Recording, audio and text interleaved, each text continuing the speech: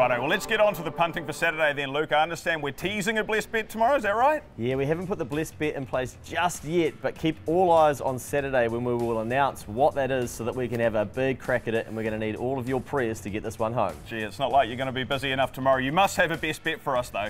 Yeah, I do. So at Ellerslie, just kidding, you're going to be going down south because if I did it and gave out the best bet here, I reckon Thad might wind it in. So we're going to go down south to Riccarton and have a crack at if I did it in race number seven. Back to that roomy track. This horse will get us paid and give us a bit more ammo for the Punters Club. And I'm going to the Karaka Millions three-year-old race tomorrow afternoon. If you can't split Molly Bloom and Orchestral, you can get them both top four power play for $2.30. I think both of these horses will be fighting it out at the end. J Mac versus Blake Shinn. It should be a hell of a finish to the Karaka Millions tomorrow night. And Ben's recovered from his stag do. Now he's going to try and pay for his wedding, and he's going to do that down at Riccarton in race number eight. His own horse, Millie Fiore, set for this race, should be winning a great each-way play at fives and twos.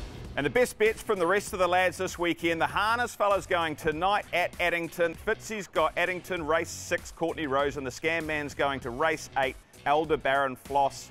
Ted's best for tomorrow, obviously not at Ellerslie, at Trentham, race four, Black Betty. The Goat's going to Trentham as well, Boomtown Boy, race seven. Dan's best, he's multiing up Merchant Queen, top three, Pendragon, top four at Ellerslie. And Maddie, Aussie Matt, the Valley, race two, CR7.